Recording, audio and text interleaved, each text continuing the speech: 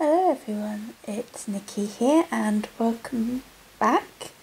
Uh, welcome back if you're a returning viewer and welcome if you're a new viewer. I'm just going to do a, a bit of a quick update on Death Head Moth before I do a little stitch with me. Um, working on this page obviously, it's filling in. The kit itself is from Gecko Rouge and it's one of their Gold Club exclusives, which means that you have to be a member of the Gold Club to be able to purchase it, but it is still available if you are a member. I I think I got it when it first came out, and as I said before, I was working on it during my lunch breaks at work, but we haven't been into the office for well over a year now.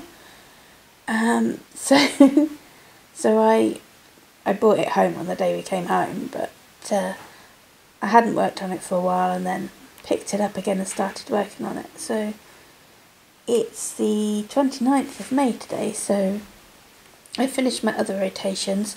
So I'm going to work on this piece until, well, I'll finish off on Monday.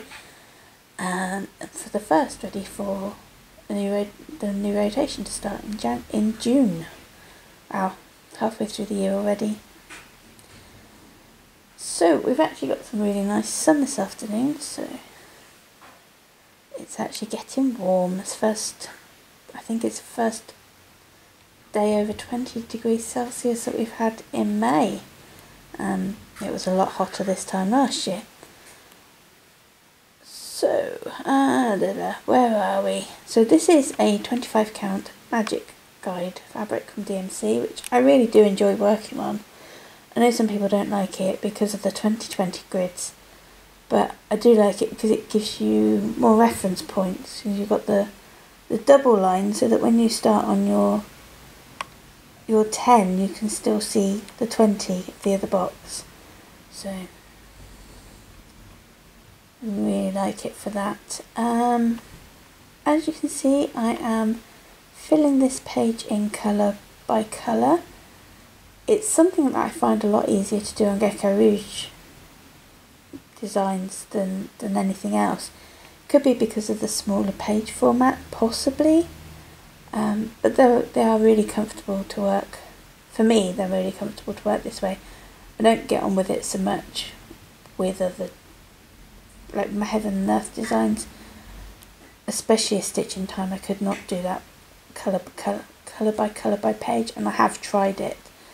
Uh, it could be because I'm doing that on a 28 count Monaco, so it's really hard to see the gaps, and you've gone past them. Whereas on this one, so you can still see the odd the the ones and twos that you need to stitch still.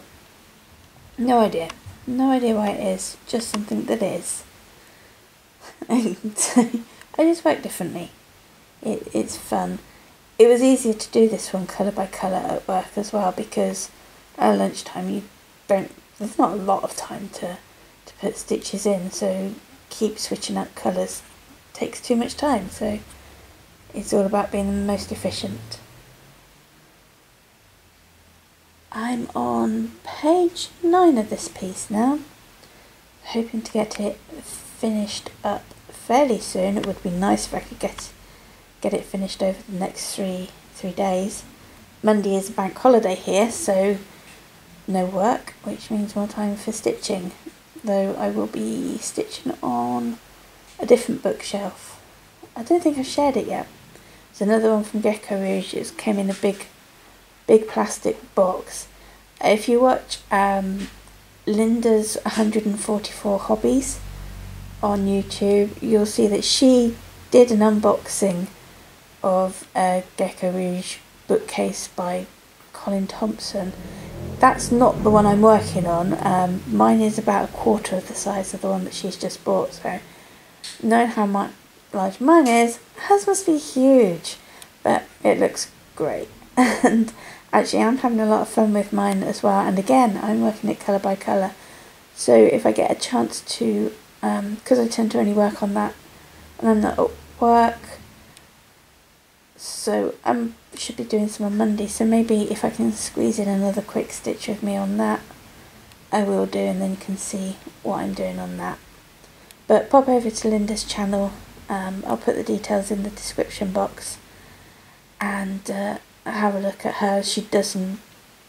We have very, very similar tastes in Heaven and Earth design charts as well. She does a lot of the Randall Spangler dragons. Um, she's just started Couch Dragon, which is one that I have on my wall, and she started. She has stitched Train of Dreams. Um, I think we were kind of stitching it ra- uh, roughly the same sort of time. So, um, with that, I will say goodbye for now, and uh, just stick stick with me and stitch with me, and I'll see you later. Bye.